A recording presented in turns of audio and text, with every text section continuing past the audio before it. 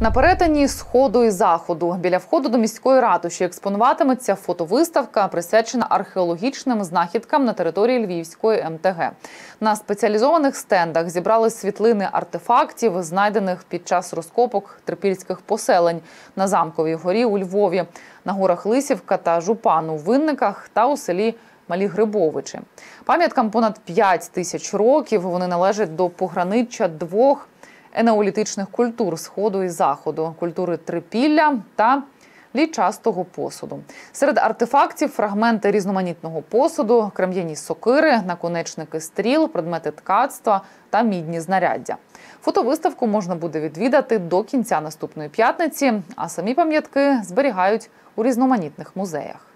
Матеріали з е, малих Грибович, вони ще накопані в 30-х роках і зберігаються буквально поруч е, в Львівському історичному музеї. Вони виставлені е, в експозиції. Їх можна навіть сьогодні побачити. З високого замку знаходяться в інституті українознавства.